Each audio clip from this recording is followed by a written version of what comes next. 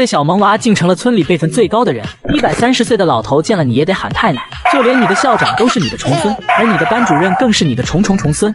就在你感叹人生无常，大肠包小肠的时候，你的小天才手表响了。喂，是太奶不？小棉包闻言，眼中带着些无奈之色，老气横秋道嗯，七太孙儿，你找我有啥事？：“电话对面，对方听见他的话后，客客气气的说道。”太奶是这样的，您的重重重孙子要娶媳妇了。咱们村的规矩您是知道的，小辈结婚需要辈分高的人证婚，您的辈分是咱们村最高的，所以就得麻烦太奶您回来帮忙主持婚礼。西孙呐，我这两年在外面上学，也没时间回村子里面。我那几个兄弟呢？这咋就突然没人主持婚礼了呢？你这让我很难办啊！周围几个小学生听见这话，立马就安静了下来，很是震惊的看着小面包，一副三观碎裂的模样。太奶，这是因为您的堂兄弟们这一年都嗝屁儿了，我们大家伙怕影响您的学业，就没通知您。太奶啊，您这要是不回来，就没人当证婚人了。没人当证婚人，那村子里面的年轻人就没办法结婚，就得打光棍了。而且除了这个事外，咱村子里还有好多大事都得等您做主呢。这不，我现在就正在开车往城里面赶，来接您回村了。小面包叹了口气，摇头说道哎，你们这些小辈呀，真是不让人省心。行吧，我这个长辈也不能眼睁睁的看着年轻后生娶不上媳妇，我现在就去和老师请假。七孙，你开车注意点啦。哎，太奶您放心，我这车技好着呢。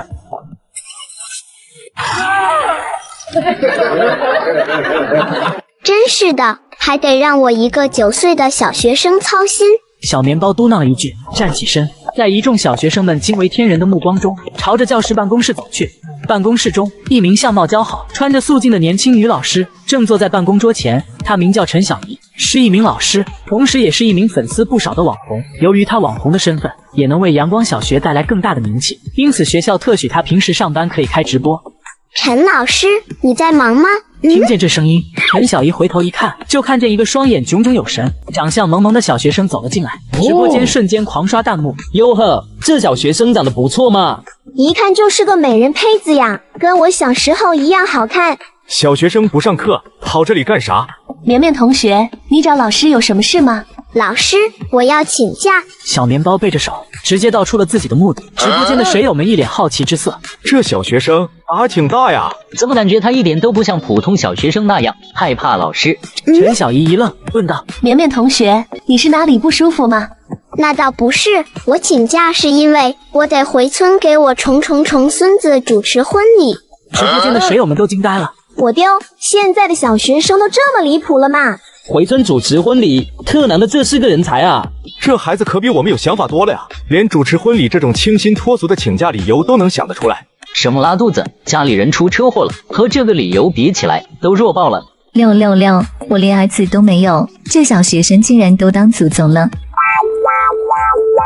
主持婚礼，学生骗人竟然都骗到我这个老师头上了，还是说这孩子想妹退学？不行，这可是个好苗子，好好读书的话，未来可期，绝对不能就这么浪费了。想到这里，陈小姨眉头紧皱，一脸严肃地盯着小棉包，语气严厉地说道绵绵同学，这才刚开学，不能随便请假。你要是想走出大山，必须好好学习，不能随便放弃学业。：“说着，他又问道。”是不是你家里让你请假的？你家长呢？我要去你家里找你爸妈好好聊一聊。小棉包见自己的老师明显不相信自己的样子，两手一摊，很是无奈的样子。那动作、那姿态和普通的小学生可谓是天差地别。哎，老师啊，我没骗人，我是真的得回家主持婚礼。小面包摇头叹气，神色沧桑，用一种意味深长的语气说道而且，老师你还是太年轻了呀！谁说大山里面就不好了？难道到外边卷的要死，累死累活，赚的钱还不够开销的才叫好？你们在外边当牛马，百年之后能埋在山清水秀的大山里面，就算混得不错了。而我直接留在大山，这叫什么？这叫直接少走了八十年弯路。这唏嘘的眼神，看透世间红尘的话语，听得直播间里面的水友目瞪狗呆。我丢，这小学生说的有道理哇！区区一个阳光小学，竟然能出现这种卧龙，牛掰！啧啧，听得我都有点心塞了。呃，他是不是被老年人夺舍了？谁家九岁孩子能说得出这么有哲理的话？田山童姥吧，这是陈小姨也听得一愣一愣的，都惊呆了。这做派，这话语怎么那么像和看透世事的老年人呢？有点离谱了吧？上集老师不批绵绵的请假条，九岁萌娃反手喊来自己的太孙儿帮忙，没曾想太孙儿是老师的爷爷。小面包当场表示，以后咱俩各论各的。在学校我叫你老师，回家你喊我祖奶奶。老师，我是真的要回去给村里人主持婚礼呀。主要就是我在我们村辈分比较高，我家族那些兄弟姊妹们都是百来岁的人了，人上了年纪也都走了。现在我在我们村辈分是最大的了。直播间的水友们绷不住了，再次笑出了声。哈哈，笑尿了。这辈分的多大？兄弟姐妹都百十来岁，这不扯犊子吗？小小学生撒谎有一手啊！我算是看出来了，这小学生就是人小鬼大，就是想请假。陈小姨也是同样认为的。身为一个被社会毒打过的成年人，她深知穷人的孩子想要过得好，可以说就只有读书这一条出路。老师面容冷峻，严厉道：“绵绵同学，我身为你的老师，得对你负责。没有正当、真实的理由，我不会给你批假的。你想要请假，让你的监护人来和我说。”小面包两手一摊，十分无奈。没办法，他只好抬起手腕，打算用自己的小天才电话手表，他的七太孙儿打个电话，把情况说明一下。喂，太奶，咋了？苍老的声音传出，直播间的水友们都惊讶了。哎，卧槽！真有人喊他太奶啊？难不成他说的都是真的？真的急哦，肯定是他请的演员。陈小姨皱眉，眼睛一眨不眨的瞅着小面包，一脸狐疑之色。小面包自顾自的对着小天才电话手表说道：“七太孙呐，我这可能回不去了。我的老师油盐不进，说啥都不给我批假，真愁人。要是我回不去，村里后生还咋娶媳妇啊？你赶紧来给我解决一下。”陈老七一听这话，当时就急了。太奶，您别急，我已经到您学校了。小面包嗯了一声，挂断了电话。陈小姨皱着眉，正准备说点什么，这时突然间，办公室的门被推开了。一个头发花白、精神矍铄的老头风风火火地闯进了办公室。这老头不是别人，正是小面包的七太孙儿陈老七。直播间的水友们和陈小姨看着这个突然闯进来的老头，都惊了。卧槽，这老头竟然还特么的有腹肌！谁家正经老头身体素质比年轻人还好啊？好潮一老头儿，小学生在哪找的演员？真不错呀！水友们啧啧称奇。也就是在这时，他们听见陈小姨的声音响了起来：“爷爷，你怎么来这了？爷爷，我都好久没见您了，也没有时间给您打电话，没想到您竟然来我这。”陈小姨脸上带着惊喜的笑容，准备和自己许久未见的爷爷好好说说话。然而，陈老七只是瞪了他一眼，压根就没搭理他，而是直接对着小面包喊道：“太奶，我来接您了。”这一声“太奶”一出口，陈小姨眼睛猛地瞪大了，难以置信地看着自己的爷爷。爷爷，你喊他什么？直播间的水友也呆住了。我天，我的耳朵坏了，我好像出现幻听了。加一，我咋听见那老头喊那个小学生太奶？咱主播叫那个老头啊爷爷，他爷爷叫那个小学生太奶。啊，我 CPU 都干烧了。所有人都懵逼了，看着一脸恭敬态度的陈老七，再看看背着双手、一副长辈派头的小面包，无论是陈小姨还是直播间的水友们，都感觉自己的三观碎了一地。小面包瞥了眼陈老七，微微颔首。七太孙来了呀！没想到我们陈老师是你的孙女，这不就巧了吗？刚好你和他说说，让他快给我批假。他背着手，小小的身躯，长辈的派头却拿捏的足足。陈老七恭敬地站在他身旁，认真地聆听着他的教诲。太奶，我的明白。陈老七小鸡啄米似的点头，随后直起腰杆，瞪着陈小姨，大嗓门直接喊道：“小姨子，你还杵在那干啥？他是你老祖宗，知道不？赶紧过来叫老祖宗！”边说，他边对陈小姨招了招手，一脸不乐意地说道：“之前我怕你知道你老祖宗的身份，故意搞什么特殊待遇，就没告诉你老祖宗的身份。没想到你这妮子真是认死理！要不是我今天特意过来接太奶，你就要耽误咱村子里的大事了，知道不？”陈老七一顿巴巴，七十多岁的人了，嗓门却老大，称得上是中气十足，声如洪钟。这番话落在陈小姨耳中，简直跟魔音贯耳一样，直接怀疑人生了。老老祖宗，爷爷，您在和我开玩笑吧？他才九岁啊，九岁不是九千岁啊！陈小姨很是崩溃，完全无法接受现实。叫一个九岁的小学生老祖宗，哪个成年人能叫得出口啊？更何况我现在还在直播，让我在粉丝面前叫自己的学生老祖宗，那我一世英名就毁于一旦了啊！陈老七一听这话，顿吹胡子瞪眼了。小姨子，你都当老师的人了，咋连人都不会叫了？没礼貌！你老祖宗小时候你还抱过他呢。马六弟，赶紧叫人！水友们听见陈老七的话后，爆笑出声，笑得肚子都痛了。噗呲！主播刚刚还在学生面前摆班主任的谱，结果学生是自己的祖爷呀！哈哈，这转折太骚了，闪了我的腰！主播快叫老祖宗，不然忒不礼貌了。牛批牛批！谁特么的能像主播这么屌，在自己老祖宗小时候抱过他啊？别磨叽了，快叫人呀！哈哈，水友们看热闹不嫌事大，不停的拱火，让陈小姨叫人。陈小姨看了眼旁边用来直播的手机，又看看背着手，微笑着看着他的小棉包和正瞪着他的陈老七，脸色爆红，尴尬的恨不能找个地缝钻进去。第一次觉得生而为人很尴尬，就以爷爷那种固执的性格，我今天要是不叫人，这是绝对不会玩。想到这里，陈小姨深吸一口气，疯狂的给自己做着心理建设。好半天之后。他才涨红着脸，无奈的对着小面包喊出了那个让他难以启齿的称呼：“老祖宗。”哈哈哈哈哈这样就对了，身为晚辈，哪能不叫人呢？小面包气质老成持重，老声老气道：“七太孙，你呀你呀，其实咱没必要这样，这在学校。”我和陈老师还是以师生相处，回家了再论辈分。你看看你现在这是办的，让陈老师在大庭广众之下喊我老祖宗，这让陈老师的脸面往哪搁？陈老七恭敬的点了点头，但还是为自己的行为辩解道：“看，小孩子要啥脸面，喊您老祖宗是应该的。”老祖宗，我谢谢你啊！刚刚喊你的时候，你怎么不说这话呢？办公室中，其他的教师们一直默默旁观着这一切。此时，再也忍不住，肩膀一抖一抖的，哪怕是把这辈子最伤心的事情都回想了一遍，都憋不住笑意了。直播间里面的水友也笑得眼泪都出来了。噗哈哈哈！这小孩子年纪不大，说话却气死个人了。太可爱了，冷小鬼大说的就是他吧？咱们各论各的，我管你叫老师，你管我叫老祖宗。震惊！花季少女竟对九岁小学生叫出了一个难以启齿的亲密称呼。陈小姨听着同事们的笑声，感觉身上跟有蚂蚁在爬一样，十分不自在。于是她连忙转移话题，希望能打破这让人社死的氛围。绵绵绵同学，你想请几天假？陈老七有些不满他的称呼，但却被小面包用眼神制止了，也就不好说啥了。回村主持婚礼，应该也就是两三天的功夫，就请个三天假吧。行，虽然现在刚开学没多久，请三天假有点多，但可以。不不不，这可不行，三天够干个啥？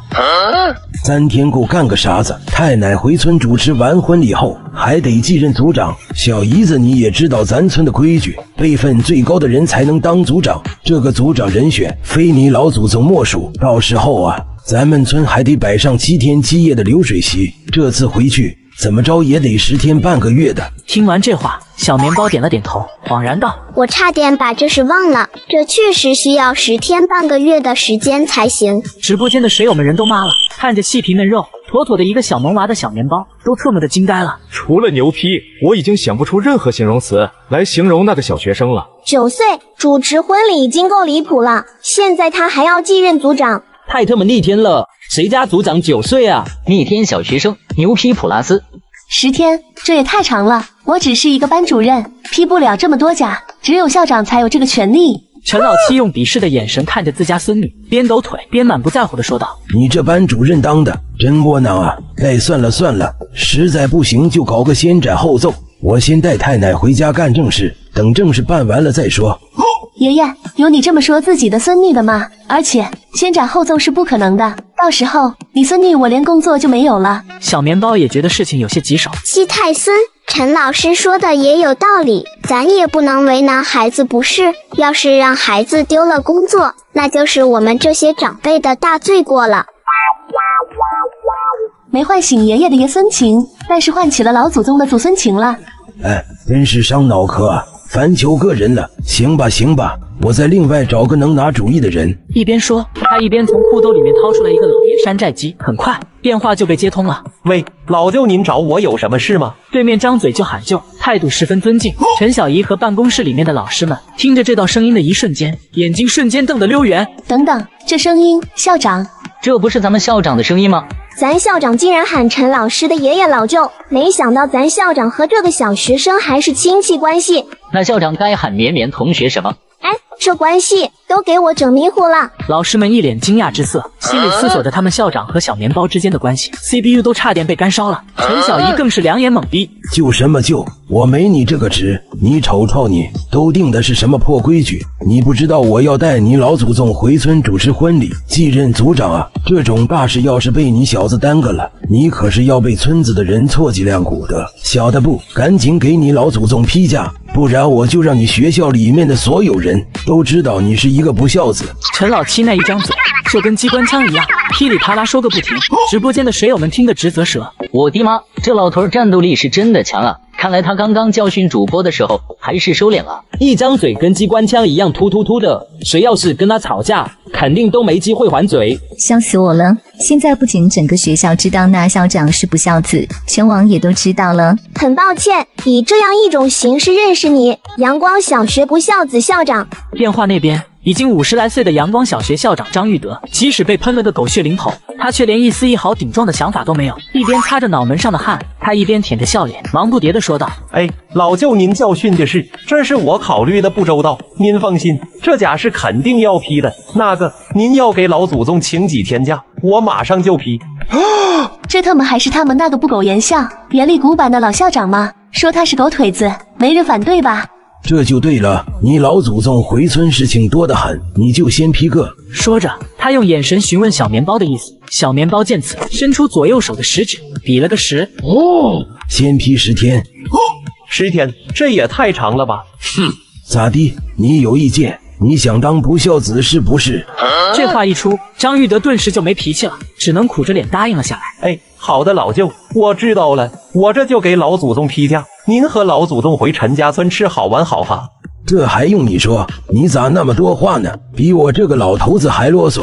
说着，直接挂断了电话。陈老七把手机揣回裤兜里，看着一旁懵逼的孙女，想了想，解释了一句：“小姨子啊，其实当时安排你来这个学校，就是因为你表叔在这儿当校长。但是吧，我们又知道你要强，就没有告诉你，就是怕你有心理压力。”陈小姨一听这话。心中大为感动，小棉包看着爷慈孙笑的一幕，欣慰一笑，炯炯有神的大眼睛里满是认真之色。陈老师，你放心，这件事我会帮你保密的，不会让别人知道你是关系户的。太奶说的没错，我们帮你保密，你也别有啥心理压力哈。直播间的水友们噗呲一声笑出来，绷不住了。你们那一本正经的样子，我差点都信了。都当着这么多网友的面说出来了，还保密个鬼哦！正说话间，小棉包的架也劈下来了。七太孙，甲也劈了，咱们回去吧。好嘞，咱们现在就回去。小姨子，你也跟我们一块回去。啊，我回去干嘛？陈老七一脸严肃，认真道：“你也是家族的人，族长继任，你必须在场。除了你以外，其他族人也都得回来。”陈小姨有些不情愿，但她也知道家族的规矩，只得点头答应了下来。好吧，那你们等我一下，我收拾下东西。陈小姨一手拿起用来直播的手机，说道：“我收拾好了，爷爷，棉，嗨嗨，爷爷，咱们走吧。”也就是在这时，小面包和陈老七才发现他主播的身份。这么说来，刚刚陈老师喊我老祖宗的时候，岂不是被很多网友看见了？啧，社死哦！陈老七一脸好奇之色，兴冲冲地问道：“小姨子，你还是个主播，多少粉丝了？在哪个网站直播？要不要爷爷给你刷个火箭？”陈小姨和水友们都惊了：“卧槽，他还知道刷火箭？秀到我了！牛啊，老头！”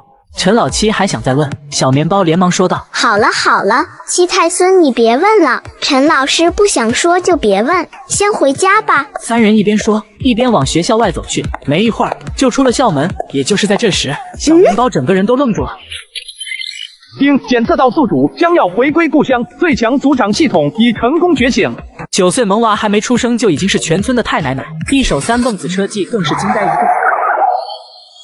太奶，小姨子，咱们就坐这车回家。我勒个擦，那个三蹦子看起来年纪都比我大了吧？那他妈的还能开吗？老头儿开老三蹦子，还是进山路？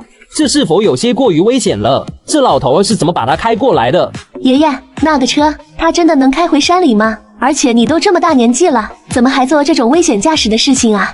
你这孩子还嫌弃我年纪大咋地？好了，别废话了，赶紧上车。一旁，小面包瞅了一眼陈小姨，心中若有所思。最强组长系统，名声高也会有加成。我的这个后辈是个主播，或许能利用这一点。爷爷，您这么大年纪了，开三蹦子太不安全了，要是出事了，那就不好了。我觉得我们还是打个车回去为好。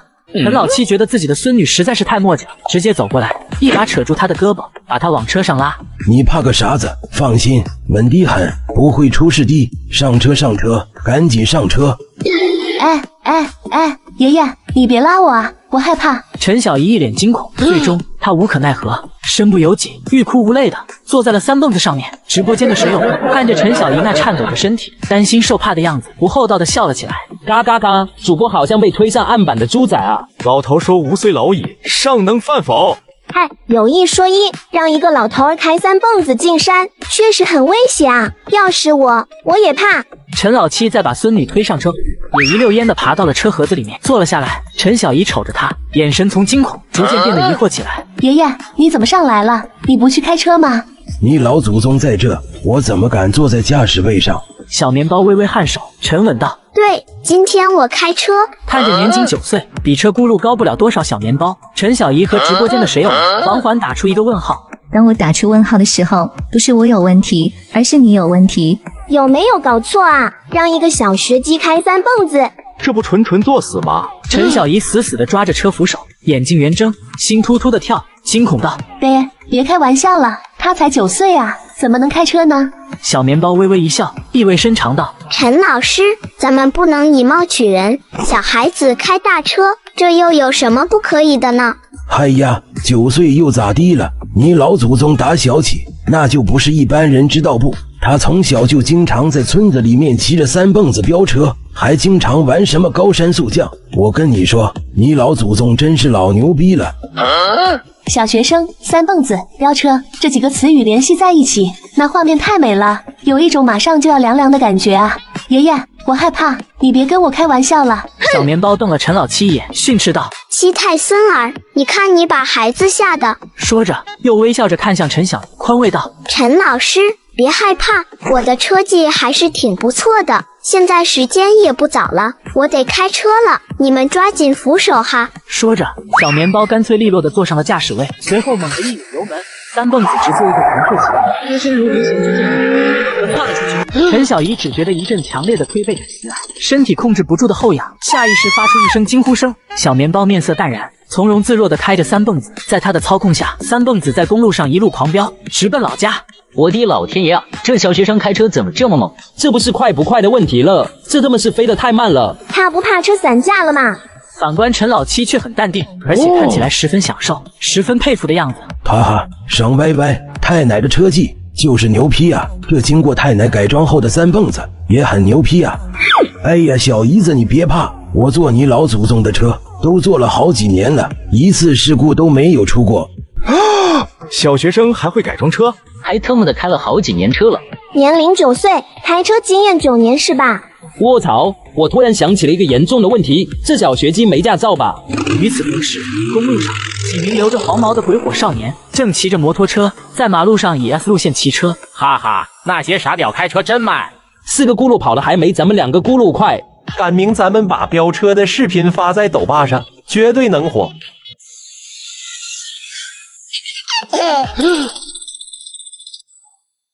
刚刚是不是有人超我们的车了？好像是的。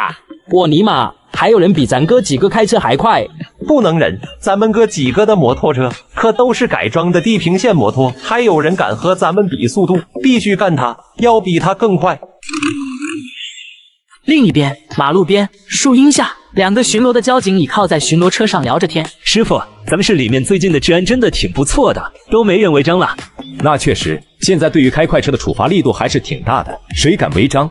两人正感慨着，就看见一道蓝色的残影从眼前里闪而过的尘烟掀起了劲风，吹得人眼睛都睁不开。师傅，刚刚飞过去的应该是一辆车吧？应该是的。打脸来得太快，就像龙卷风。他们刚说治安好，就有人在他们眼皮子底下开快车。太猖狂了！光天化日之下，竟然敢飙车，那么快的速度，随便出点问题就会出人命。没错，得赶紧把他们拦截下来。然而，他们刚上车，就听见一阵轰鸣声响起，抬头一看，赫然看见一群黄毛鬼火少年超速行驶，在后面追逐，从他们身边窜了过去。这些小混混真是无法无天了！大白天的，竟然就敢在城区主干道飙车，真是不要命了！他们这是在调戏法律，必须逮捕他们。对。哈哈，还想追我们？吃尾气去吧！歪日，那个人咋开那么快，压根追不上他。我住！我特能的就不信了，我能受这个委屈？加速加速，让他们知道我们鬼火少年的厉害！一时间，小面包开着掉了漆的三蹦子，在最前方行驶，鬼火少年们鬼吼鬼叫的在后面追，最后方是两名怒气勃发的交警，三方人马在公路上追逐，上演着速度与激情。这边，小面包稚嫩的脸颊上带着惬意之色，哼着小曲，淡定自若的开着车。陈小姨看着路旁飞速倒退的风景，面色苍白，吓得一句话都不敢说。看，小姨子，你怕啥？你老祖宗开车是真低稳低狠，你看这不没出事吗？正在这时，听见一阵喧哗声由远及近，快速的逼近。卧槽！超我们车的竟然是一辆三蹦子！我尼玛，谁他妈这么牛批，竟然能把三蹦子开这么快？笑死！再快还不是要快被我们追上了？哇啊！兄弟们，干他干他！爷爷，绵绵同学，有一群黄毛在追我们啊！完了完了完了！他的声音在裂缝中传播，如果话语有形状的话，此时已经被风扭曲的变形了。小面包也听见了自己的玄孙在和自己说话，稚嫩的面颊上带着沉稳之色，同样扯着嗓子喊了一句：“晚了，你是怕赶不上是吧？”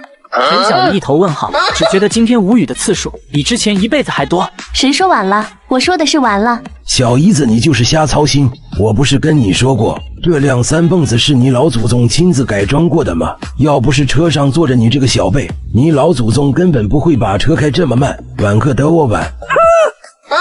有没有搞错啊？他九岁会改装车就算了，这速度还叫慢？小面包听着两人的话，老气横秋道：“那可不，毕竟你是小辈，我得对你的安全负责嘛？不能开得太快了。不过既然陈老师你怕回去晚了，赶不上，那我就快一点。”说着，他在陈小姨惊恐的目光中猛地一拧油门，猛然加快。哦，哈哈，够劲啊！太奶就是刁。直播间的水友们隔着镜头体验着飙车的快感，不由瞠目结舌，眼珠子都快瞪出来了。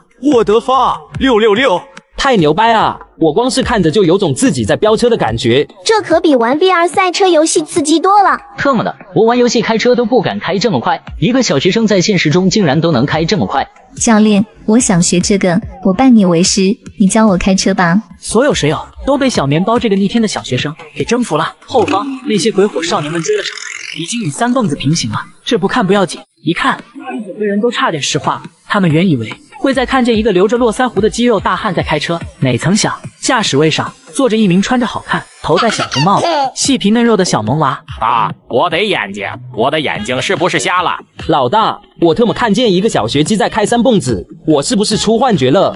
换尼玛，老子也看见了！我了个大操！什么时候小学鸡都这么卷了？竟然能把三蹦子开出这种唯我独尊的架势！鬼火少年们目瞪口呆，风中凌乱，完全没想到他们这群兄弟竟然败在一个小学生手里。也就在这时，他们与三蹦子之间的距离再一次被拉开了。看着骤然加速、瞬间起飞的三蹦子，鬼火少年们懵逼了。我说，那个小学生好他妈的刁！这尼玛是三蹦子能达到的速度，这他妈的是三轮 KTM 吧？KTM 越野摩托车，横道，这个三蹦子绝壁是世界上最牛皮的 KTM 三蹦子。鬼火少年们的老大眼珠子一转，大声吆喝道：“哥几个，给老子追！老子看上那辆三蹦子了，必须拿下他！”老大都发话了，小弟们自然马首是瞻，冲啊，办他！停车，靠边停车！那些开快车的人，肯定他奶奶的是一伙的。我今天非得把那些不要命的小混混给抓起来。出来的消息，那个人是？你这么多的你杳无音讯。憋上急，绵绵开着三蹦子带着自己的太孙回村主持婚礼。刚进村，小辈们就遇到了麻烦。太奶啊，麻烦大了！明天我家做酒席的鱼本来就要运到了，但谁知道送鱼的人在路上翻车了，出车祸了。他们人倒是没出啥事，但是鱼全特么的死光了。是呀，老祖宗，你也是知道我们村的规矩的。出了这种事，按照习俗又不能重新去买鱼，太不吉利了。但是结婚酒席又不能没有鱼，大家伙一起赶紧想想办法。陈家村说是一个村子，其实就是一个家族，整个村子里面都是沾亲带故的。一听这话，整个陈家村的人也跟着着急起来了。哎，我操，那送鱼的也太粗心了，难搞，难搞啊！这一时半会，我们到哪搞那么多鱼呀？一时间，众人愁眉不展。陈老七也吹胡子瞪眼的，很铁不成钢的看着自己的老哥，骂骂咧咧道：“六哥啊，你让我怎么说你？彭子好不容易结婚，你就不能找个稳妥点的人办是吗？”陈老六的儿子陈大鹏作为准新郎的他，比他爹更愁更着急。别急，我有办法。正在众人抓耳挠腮的想着解决问题的办法的时候，一道奶声奶气的童声响起。陈家村众人神色一动，低头看向他们的小老祖宗。太奶，你有啥办法？按照规矩，我们不能去买鱼，那就只有去河里面打鱼吧。在农村里面，经常有人会去小河沟里面打鱼，这种事情对农村人并不陌生。太奶，这行不通吧？咱们这山里面的小河没有啥大鱼。是啊，太奶，就凭那些小鱼，也没办法做婚宴上的那种糖醋鲤鱼之类的硬菜啊。陈家村众人连连摇头，鱼他们又不是没打过，就那种巴掌大小的小鱼苗子，根本没办法在酒席上派上用场。小面包微微一笑，宛如一位运筹帷幄的将军，双眼炯炯有神，奶声奶气的再一次说道：“放心吧，我有办法。”看着小面包这自信的模样，所有人都沉默了。虽然我们的小老祖宗很牛皮，又会飙车，还会杀牛的，但一个小孩子能怎么在没有鱼的小河里面搞到大鱼呢？小面包也没管他们怎么想，黑溜溜的眼睛从自己的子孙后代们的身上扫过，随后伸出胳膊开始点兵点将。你你你你，玄孙们，你们几个出列，跟我一块去打鱼。那几个被点中的人都是陈家村最为健壮的几个年轻人，几个壮汉挠了挠头，听话的站了出来。哎，好，老祖宗，您真要去打鱼啊？那还能有假？一边说，他一边拿出几个蛇皮口袋，往蛇皮口袋里面装了些东西后，把蛇皮口袋递给了一个壮汉。来，你帮我拿着，这东西待会还有用。好了，别耽误时间了，跟我走吧。说着，小面包率先开路，朝着村头走去。哎，行吧，反正现在也没啥好办法了，死马当活马医吧，就按小老祖宗说的办吧。片刻后，一群人来到了村头停放三蹦子的地方。绵绵小手一挥，冲着他的玄孙们说道：“上车。”后嘞。玄孙们应了一句，身手利落的翻上了车。陈小鱼看着三蹦子，眼皮子直跳，又回想起了不久之前被三蹦子支配的恐惧。他深吸一口气，做了下心理建设后，一咬牙，踩着车轱辘爬上了车。五个膀大腰圆、浑身腱子肉的壮汉，加上一个娇小玲珑的陈小姨，六个人加上绵绵专门带上的东西，一起挤在三蹦子上面。顿时间，那辆掉漆的三蹦子就被占得满满当当的。我擦，有没有搞错啊？这小破三蹦子上面能进得住这么多人吗？这要被坐坏了吧？直播间里面其他的水友看着他发的大，哈哈大笑起来。哈哈，朴老板多虑了，这三蹦子牛逼着呢。别看他老，但他的质量杠杠的。季弟弟切了一声，压根不信这鬼话。吹十三把你们，就这三蹦子老掉牙了都。而且现在太阳又快下山了，光线不好，山路又难走的一批，到时候走着走着，车轱辘掉了，或者车翻沟里去了，那就完犊子了。水友们微微一笑，意味深长道：“小老板，你还是多虑了呀。”你就放一百个心吧，这小老祖宗可比这车还牛批。没错，小老祖宗稳了一批，不该你操的心，你别操。滴滴滴缓缓打出一个问号，不明白这是啥意思。然而没一会，他就看见那个细皮嫩肉的小学生直接坐在了驾驶位上。哎呦我去，这小学生怎么坐到驾驶位上了？正在他为之不解的时候，下一瞬就很突然，他就看见直播屏幕直接飞了起来，路旁的景色飞速倒退，彰显着那风驰电掣般的速度。卧槽，什么玩意儿？这尼玛小学生直播公路飙车，玩这么大，不要命了！直播间的水友们在看见 PDD 发的弹幕后，他们咧嘴一笑，义正辞严道：“住口，不要胡说！这是在山里面，怎么能叫公路飙车呢？”骚猪，你怎么能凭空污人清白呢？再胡说，小心律师函警告。PDD 瞪大双眼，无不佩服的说道：“这小学生真的逆天了，老子长这么大就没见过这么牛批的车技，这速度直接特么的起飞了都！”山路上，三蹦子的速度迅疾如风，那崎岖的山路、复杂的地形，能够让无数老司机望而却步，心生惬意。绵绵却觉得一点挑战性都没有，淡定的开着三蹦子，如鱼得水般穿梭在山里与密林之中。车上，几名壮汉享受着劲风吹拂的感觉，兴奋的发出几声吼叫声。哟吼，爽！每次坐小老祖宗的车都是这么刺激，我喜欢。就是这种感觉，别少。太特么的刺激了！我感觉我现在就是《速度与激情》里面的主角。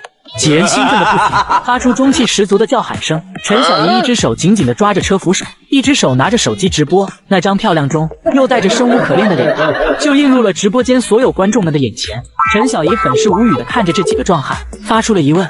大哥们，你们男孩子的快乐就这么简单的吗？坐个车就觉得很爽了？你们不觉得飙车很危险吗？而且还是在山里面飙车。几名壮汉看着自家妹子，豪迈一笑，哈哈哈！男孩子的快乐就是这么简单。他个锤子哦，老妹儿你就放心吧，咱们的小老祖宗稳的一批。他还能让咱几个后辈出事不成？直播间的水友们听着壮汉们的话，又看着陈小姨那愈发无语的表情，也忍不住笑了起来。感信这个九岁的太奶奶打鱼，竟然直接拜起了龙王。龙王老哥，这是礼物，你收好，你可得多借我点鱼呀！玄孙们，咱们到了，都下车吧。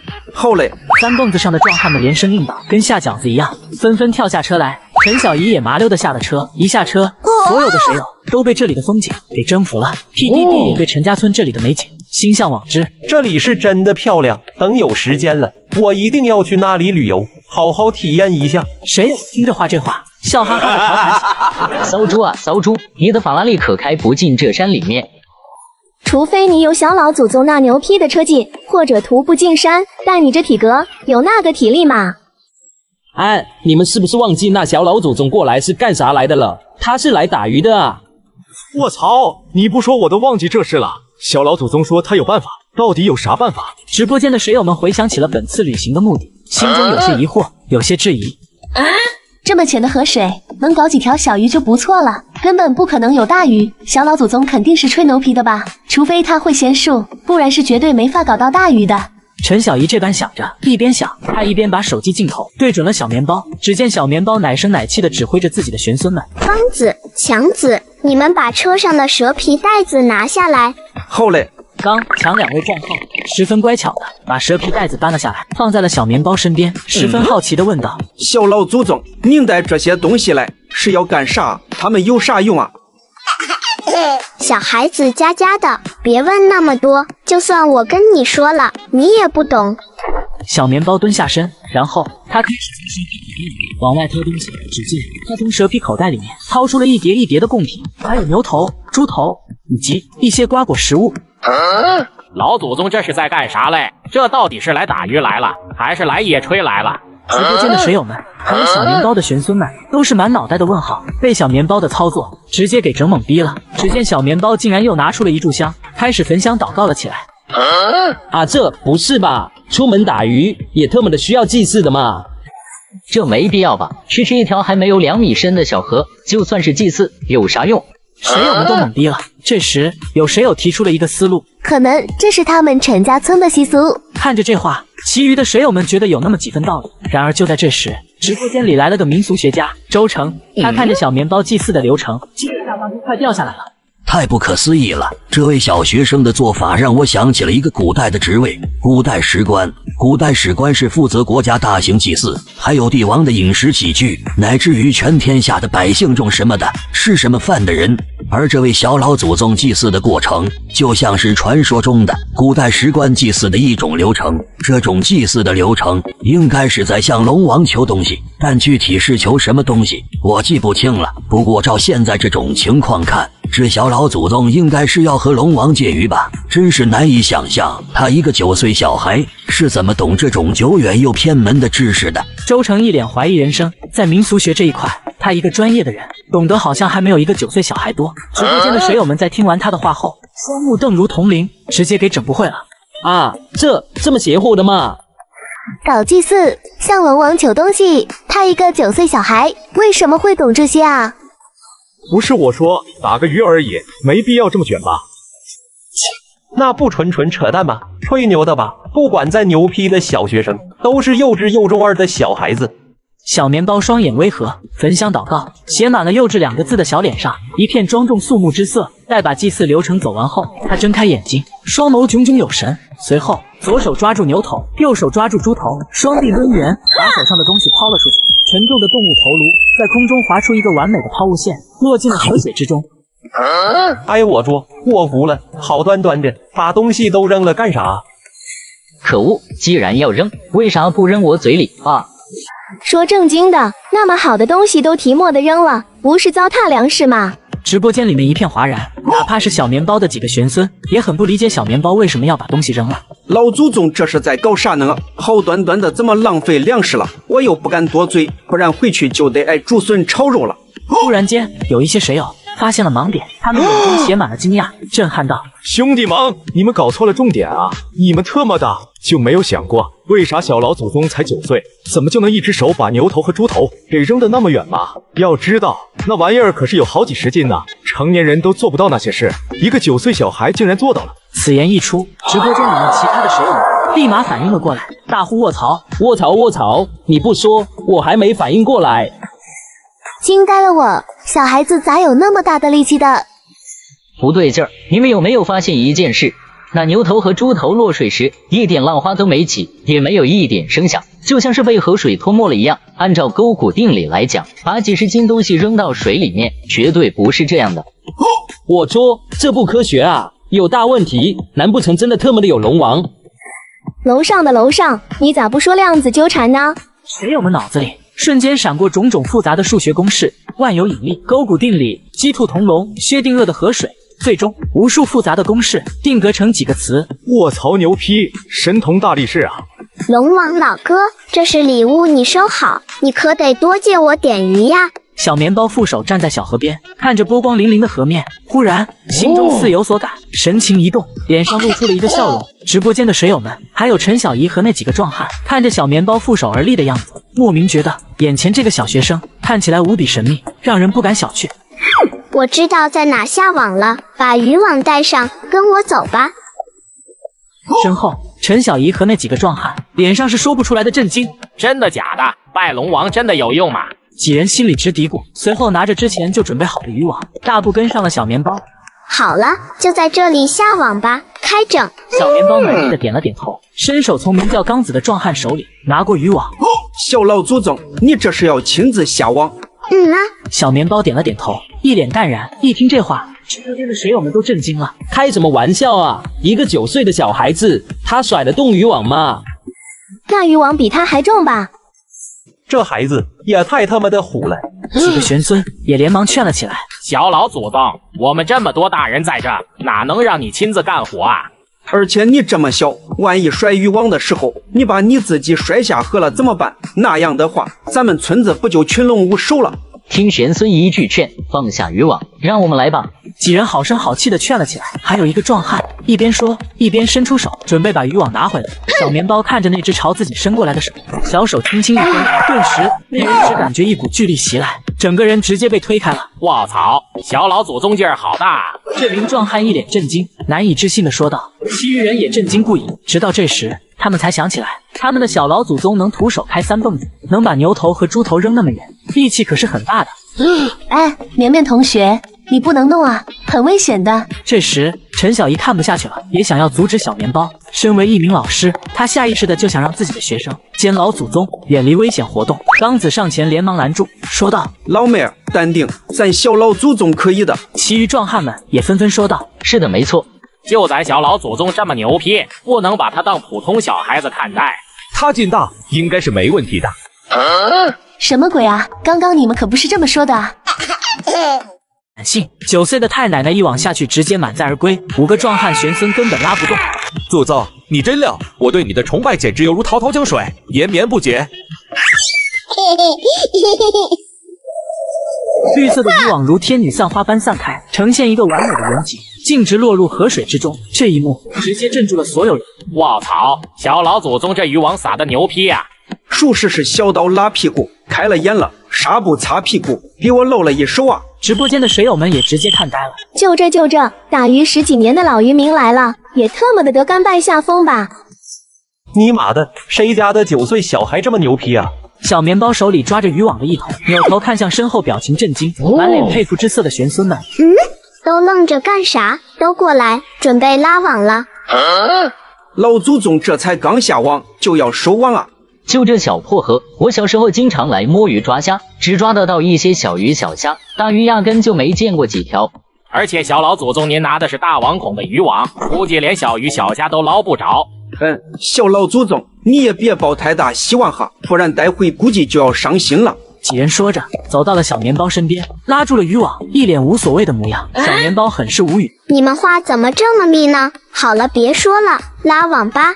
老祖宗，不是我说，就我一个人都能轻轻松松的把渔网拉上来，五个大男人一起，根本就是杀鸡用牛刀，大材小用啊！然而下一刻，壮汉们就变了，在他们五个人协力之下，竟然没把渔网拉上来，那渔网竟是纹丝不动。怎怎么拉不动啊？我说这怎么回事？我们五个人力气这么大，怎么可能拉不起来一个小小的渔网？难道是网到大石头了？有可能，但是我们这么多人拉网，就算是再大的石头，也该拉上来了。小面包面色淡然，似乎早就想到了会面临这种情况一样，淡淡说道把你们吃奶的劲儿都使出来，不然绝对是拉不上来的。：“众人闻言都惊讶的不行。好，我就不信这个邪了，我就不信把它拉不起来，都给我认真点。”壮汉们看着自己等人拉上来的渔网，一时间都傻了，只因为这个渔网里面的东西，除了淡水鱼之外，还有石斑鱼、带鱼、鳕鱼、竹节虾、基围虾、梭子蟹、青蟹、寄居蟹。我傻了，真的，这个世界出 bug 了吧？带鱼和梭子蟹那些东西不是海产品吗？为什么在大山的河里面能打到海产品啊？真是特么的见鬼了！小老祖宗牛批，你到底是怎么做到的？直播瞬间狂刷弹幕，卧槽了，好多鱼啊！那么多鱼，都特么的快把渔网挤爆炸了，怪不得刚刚拉不上来。这不对吧？这么小的河里面，怎么会有这么大的鱼，而且还那么多？把那些鱼的祖宗八辈都抓过来，也没有这么多吧？太不科学了。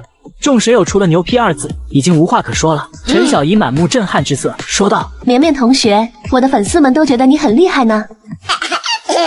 这可不是我厉害，这是我和龙王讨价还价的结果。不是吧？拜龙王竟然真的有用？：“众人震惊中带着茫然之色，觉得这件事荒诞离谱中又带着那么一丝合理性。别墨迹了，玄孙们，你们过来，把这些鱼啊虾呀的都装到车里面。小面包指挥着壮汉们把打上来的鱼虾全都放在三蹦子上面，这不放不知道，一放吓一跳。我去，老祖牛皮啊！三蹦子直接被鱼给塞满了。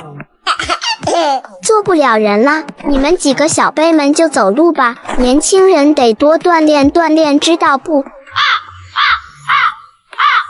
是是是，老祖宗说的对。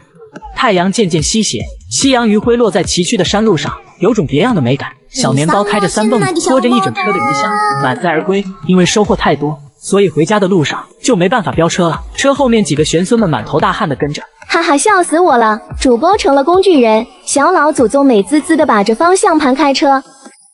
小老祖宗表示无敌，是多么寂寞啊！啧啧啧，小老祖宗太牛批了，他以后就是我的精神弹泵。嘿嘿嘿，不知道陈家村的人要是看见小老祖宗带了这么多鱼回去，会是啥表情？陈家村一众陈家村村民都紧皱着眉头，愁眉不展啊。陈老六和陈大鹏两个人更是一根糖接着一根糖的抽，主打一个愁。呃，完了，太烦了，这弄不到鱼，这酒席就办不好了。一旁，其他人叹了口气后，连忙出声安慰起来。先别急，小老祖宗不是出门打鱼去了吗？说不准就把问题解决了呢。那不是小孩子闹着玩呢吗？就那小河狗子有个锤子鱼哦。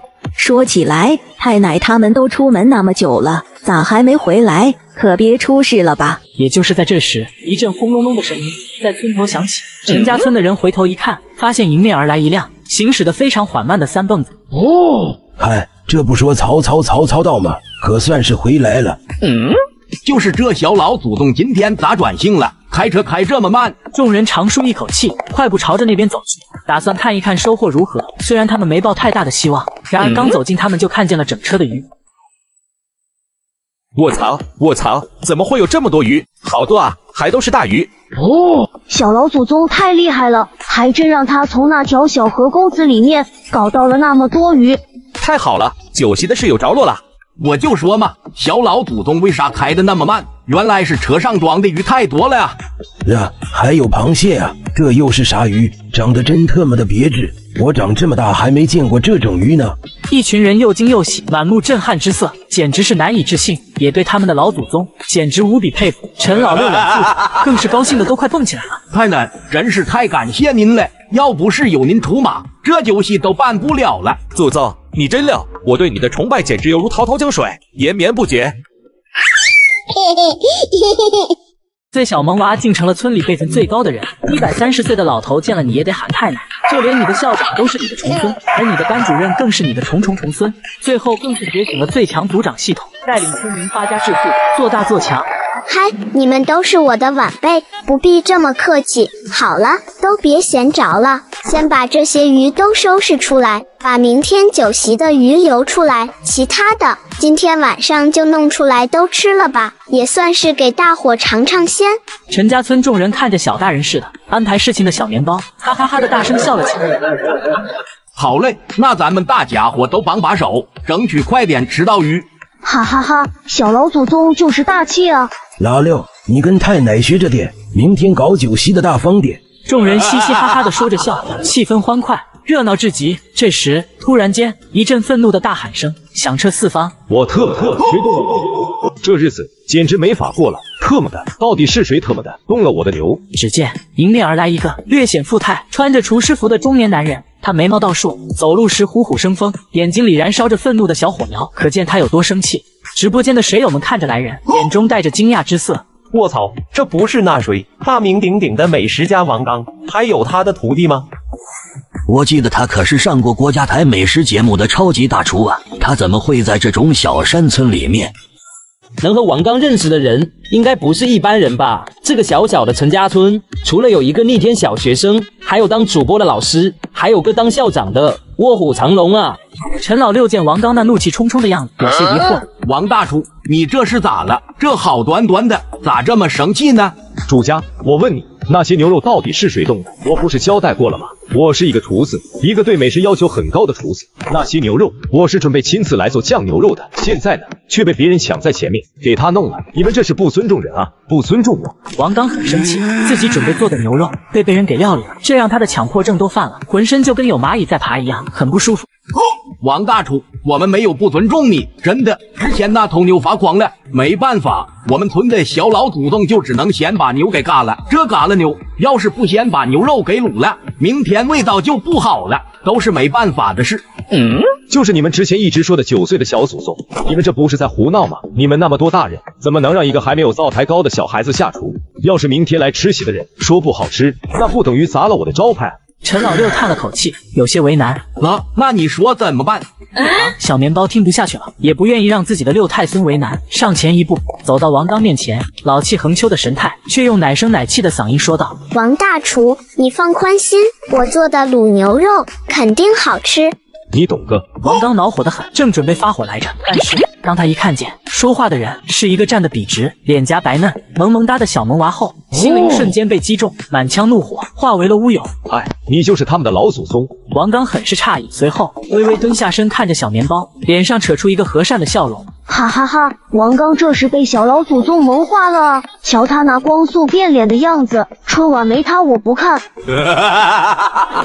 有一说一，咱小老祖宗确实很萌呀。对我就是他们的老祖宗。小面包看着王刚，正色说道：“王大厨，我知道你的顾虑，但是你放心，我的厨艺也不差的。”小面包说的很认真，但却把王刚逗笑了。你这孩子跟个小大人一样。王刚压根没把他的话往心里去，觉得这就是小孩子说着玩的。他满脸笑容，好声好气的和小面包讲着道理。不过呢，小孩子不可以随便动大人的东西哦，那样糟蹋食物就不说了，要是不小心伤到你了，那就是大事了。呃，谁家五大三粗的爷们儿会用卖萌的语气说话？恶意卖萌啊，这是！事已至此，牛肉被做了就做了吧，麻烦你们再重新准备一头牛吧。啊，真不用，而且不是我吹，我做的牛肉比你做的好吃多了。这话一出，直播间的水友们都是黑人问号脸。这还不叫吹？虽然我承认这个小学生飙车打鱼这方面挺牛的，但是比厨艺人家才是专业的。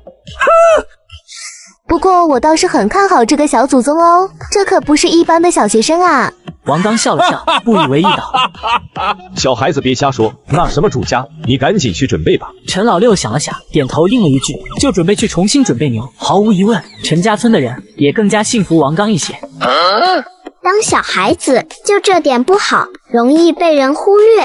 真的不用啦，小面包极其认真的说道。重新准备牛，那么多肉吃不完就浪费了。你们不是不相信我的厨艺吗？牛肉我已经卤好了，你们跟我来，去尝尝就知道了。众人随着小面包一起来到了厨房，那尝尝吧。嗯。小孩子做的东西，谁特么的敢吃啊？要是不小心食物中毒了，那明天的酒席咋办？陈老六等人对视一眼，觉得自家小老祖宗说的有道理啊。当即，一群人在旁边开口劝着王刚：“王大厨，要不然你就去尝尝味吧。对，尝一尝就知道了。我们相信小老祖宗的厨艺。”一群人劝王刚，还真不好拒绝。最后一咬牙，一狠心：“行，那我就尝尝。”随着锅盖被揭开，霎时间，一股浓郁的肉香味扑面而来，香味浓郁醇厚，闻之令人口舌生津，食欲大动。陈家村众人忍不住咽了咽口水，好香啊！太他妈的香了！光闻着香味，味道应该就差不到哪去。王大厨，你说呢？王刚深吸了一口卤牛肉的香，眼中满是惊讶之色。香，喷香！这牛肉确实香得很。真是奇了怪了，一个九岁小孩子做的卤牛肉怎么会这么香？我做的卤牛肉都没有这么香。顿时间，卤牛肉的品相再次征服了所有人。九折卖相，看着就很好吃啊！老祖宗，我也想吃。基佬看得我都流口水了。王大厨，你别耽误时间了，赶紧尝尝看。当牛肉入口一瞬间，一股无法言喻的香味在唇齿间迸溅开来，软烂适中的牛肉沾满了汁水。酱香味十足，带给味蕾极大的享受。王刚眼睛猛地睁开了，直接表演了一个瞳孔地震。卧槽，太好吃了！世界上怎么会有这么好吃的牛肉？我发誓，我长这么大从来没有吃过这么好吃的牛肉。信九岁的太奶奶一锅卤牛肉，直接俘获厨神王刚的芳心，当场就要认九岁的小棉包为老祖宗。老祖宗。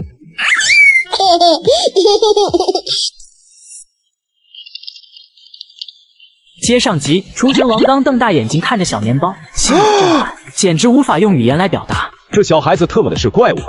为啥一个小孩子做的卤牛肉比我这个声名赫赫的美食家还好吃？陈家村的人一听这话，齐刷刷的低头看着大铁锅里面的牛肉，眼睛都在发光。真的吗？真的很好吃吗？连王大厨都说好吃，那肯定没有假。小老祖宗就是牛批啊！小小年纪就有那么牛批的厨艺。太嗨，这下我们可以放心吃了。嘿嘿嘿，我也要尝尝小老祖宗的手艺。我也要，我是主家，让我先尝尝。等一下，一声大喝传来，只见王刚眼睛一瞪，跟个怒目金刚似的，非常严肃的说道：“这卤牛肉现在还不能吃。”啊？为啥？你能吃？那轮到我们了，咋就不能吃了？卤牛肉要冷下来吃才更好吃，最好是在卤汤里面浸泡一晚上再吃，才是最佳选择。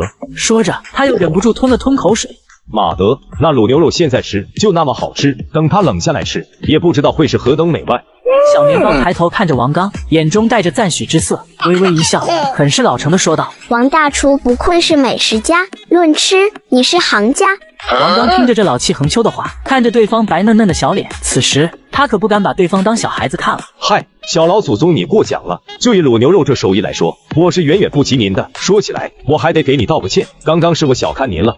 小面包摆了摆手，九岁的身体却带着与年龄不符的老成，笑着说道：“ 没事，不知者无罪嘛？”乖乖，太奶，这肉我们真的不能吃一点吗？小老祖宗，说实话，我们都很馋呢。要不您就让我们吃一点。小面包回首看向自己的子孙后代们，却见他们都睁着卡姿兰大眼睛看着自己。哎，你们这些小孩子啊，就是管不住嘴，看把你们馋的！说着，小手一挥，吩咐道：“既然你们都想吃卤牛肉，那就分出来一部分，现在就吃，剩下的丢到锅里面，明天吃。”陈家村众人一听这话，顿时乐开了花，纷纷欢呼起来。好好好，来，谢谢小老祖宗。哈哈，吃肉了，吃肉了！他们笑哈哈的，手脚麻利的，立马就开始按照小面包的吩咐去分牛肉去了。一旁，王刚和他的徒弟看的是痛心疾首，一阵干着急。小老祖宗啊，你为什么要同意他们现在就吃卤牛肉啊？这不是这不是浪费美味吗？小面包看着王刚，一脸无所谓的表情，很是洒脱的说道：“ 有钱难买我乐意，不就是一点牛肉吗？大家开心就好。再说了，你的子孙后辈们和你撒娇，就是为了吃点卤牛肉，哥你你忍心拒绝吗？”总感觉这话哪里不对劲。这话六十岁的老头老太太说没问题，可你才九岁啊，九岁说这种话。王刚憋了半天，憋出一句话：“行吧，小老祖宗您说的真对。”直播间的水友哈哈大笑起来。哈哈，笑不活了！九岁小孩当祖宗，百岁老人当孙子，还要给九岁的祖宗撒娇，说自己要吃肉肉，这是什么离谱又魔幻的剧情呀！擦，你看那些人都特么的在抢牛肉了，人群一窝蜂的抢着牛肉，声音嘈杂，气氛热烈至极。我着太鸡儿好吃了，香的我把舌头都快吞下去了。小老祖宗这手艺真是没得说的，真是喷香啊！这卤牛肉色香味俱全，超级无敌好吃。马的不行，我还得再来一块。呜呜，太好吃了！下午，王刚就满脸纠结之色的找上了小面包。嗯，你找我有什么事吗？王刚扣了扣脑壳，有些不好意思，踌躇不决道：“嗯，这个那个就是。”听他说了半天，一句完整的话都没说出来，直播间的水友们和陈家村的人都无语了。王刚师傅，你到底要说啥？咋支支吾吾个没完了？嗯，你到底要说啥？怎么这么大个人还婆婆妈妈的？说着，小面包还忍不住叹了口气，摇头说道：“哎，你说说你们一个两个的，让我这个当长辈的这么不省心。”哈哈，小老祖宗真是人小鬼大啊！这长辈的架势妥妥的拿捏住了啊！王刚听得都懵逼了，目瞪口呆的看着小面包，一脸诧异道：“啥玩意儿？我也不是你们陈家村的人啊，怎么就成你的后辈了？”小面包背着手，神色淡定，明明是个小孩子，气质看起来却跟个老干部似的。我的后辈太多了，都记不过来了。但是你不是跟我们村的那谁称兄道弟的吗？我们村我的辈分最大。既然如此，那你怎么不算是我的后辈呢？来，叫声老祖宗听听。我说，小祖宗这关系攀得真够远的，学到了。小老祖宗真会占便宜。所有的水友没有一个人认为王刚会叫小面包老祖宗，甚至还有人认为，按照王刚那个火爆的脾气，说不准还会发火呢。正当水友们这么想的时候，好吧，老祖宗。王刚的声音响起，他恭恭敬敬的对着小面包喊了声“老祖宗”。霎时间，直播间的水友们彻底卡壳了。卧槽了，我没听错吧？他咋还真叫了？离谱啊！王刚喊出那句“老祖宗”后，就像是打通了任督二脉一样，整个人豁然开朗，也不扭捏了，看着小面包，笑呵呵的说道：“老祖宗，您看我都听您的了，喊你老祖宗了，那我求您个事行不？您能不能把卤牛肉的配方交给我？”太养个狗的！我就说。王刚那么傲的一个人，为啥突然变得这么卑微？原来他是看上了小老祖宗的卤牛肉配方了呀！他是真的鸡贼呀，想从小祖宗手里哄东西。小面包看着王刚，一副果然如此的表情，看得王刚很是不好意思，老脸都变红了。嘿嘿，老祖宗，你看，你真想学？王刚小鸡啄米似的点头。嗯，想学。老祖宗，我想学卤牛肉。行啊，我可以教你。还有直播间的水友们都惊了，不会吧？小老祖宗真要把配方交给王刚啊？这也太大方了吧？难道是小老祖宗起了爱财之心，想要收徒？九岁小孩收厨神王刚为徒，这场面太美了吧！